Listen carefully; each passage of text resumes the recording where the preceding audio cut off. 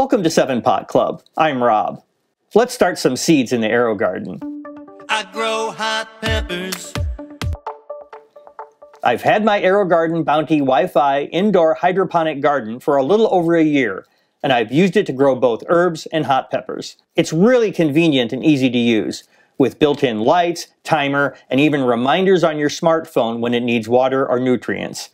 In this episode, I'm going to demonstrate how I'm now using this AeroGarden to germinate hot pepper seedlings. I'll transplant these outside later in the spring.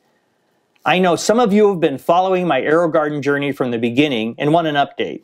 So later in the video, I'll rewind and show what's been happening in this AeroGarden since the previous update when it looked like this.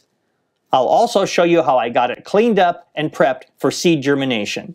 Let's get started. My roots are in the water, but I'm reaching for the sky. I didn't purchase my AeroGarden for starting seeds, but I was intrigued when I found out a seed starting system is offered as an accessory. AeroGarden recently introduced an updated line of Bounty Gardens, so make sure you order the right system for your unit. I'll provide a link in the video description. For my bounty, it cost about $30 on AeroGarden.com. I got mine for 20% off with free shipping during one of their frequent sales. As you can see, it was shipped without any extra packaging. I think this is a great practice when it makes sense, as it reduces waste. Time to open the box and see what's inside.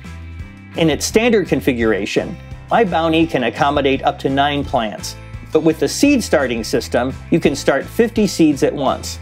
This seed starter tray completely replaces the regular AeroGarden grow deck. Each hole is filled with a grow sponge.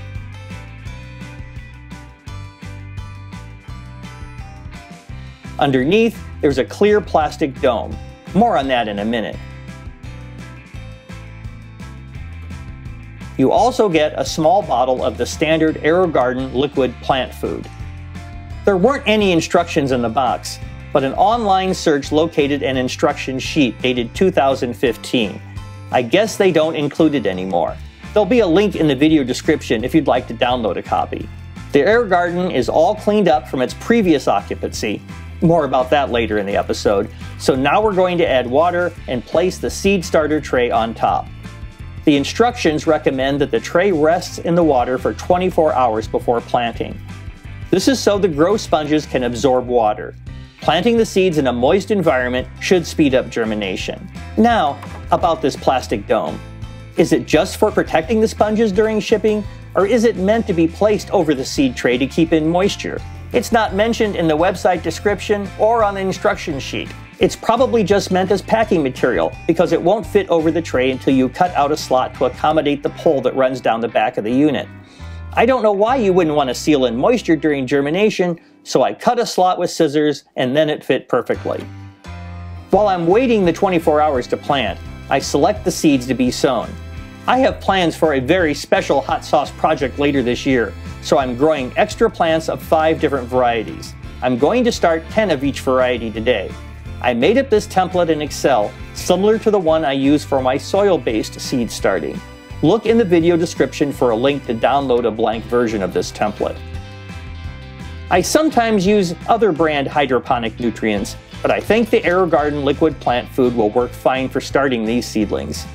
I will be using organic soil and fertilizer after I transplant them, but I won't be able to claim they're 100% organic like the seeds I start in soil.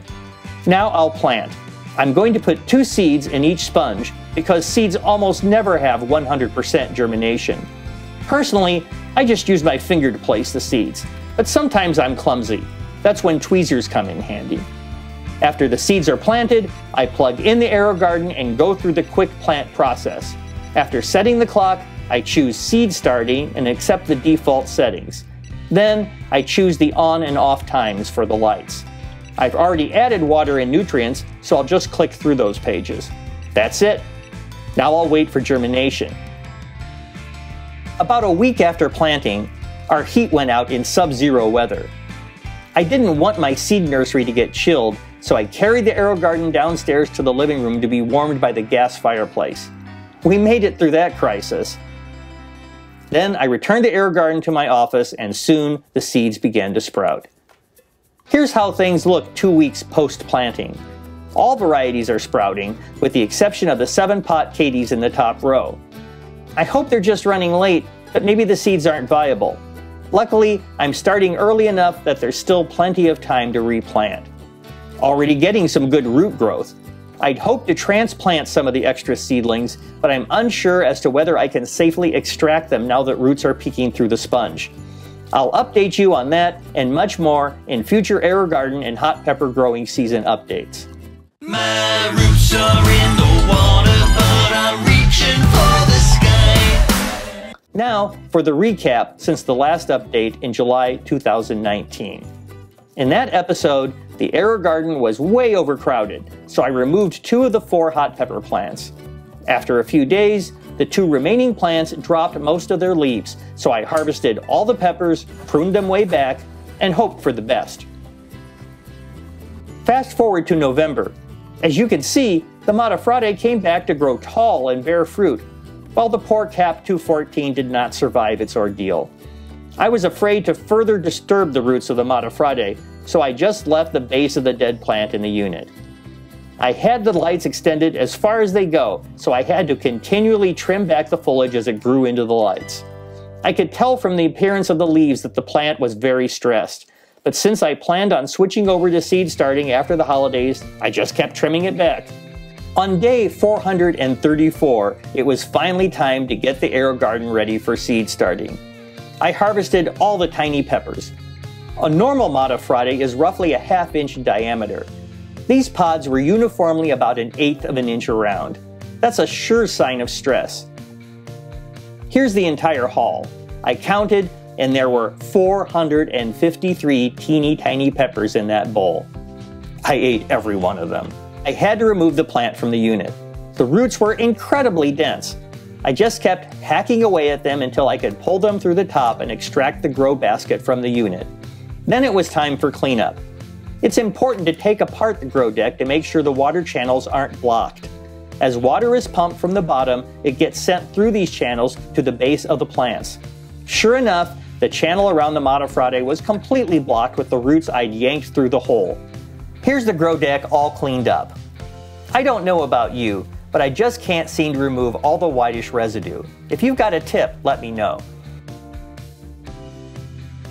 I should probably take a moment and show you how the Bounty Grow Deck comes apart. There are six tabs spaced around the edge. Firmly press each one toward the center until it releases. The first time I did this, I was afraid I'd break off the tabs, but that hasn't happened yet. Release all six tabs and the two halves come right apart. Next, I siphoned out the murky water and pulled out the pump for a thorough cleaning. Roots had grown deeply into it, you have to remove two small screws to remove the pump's cover. Now, the bowl is all clean and sanitized. The pump is all cleaned up too and ready to be reinstalled.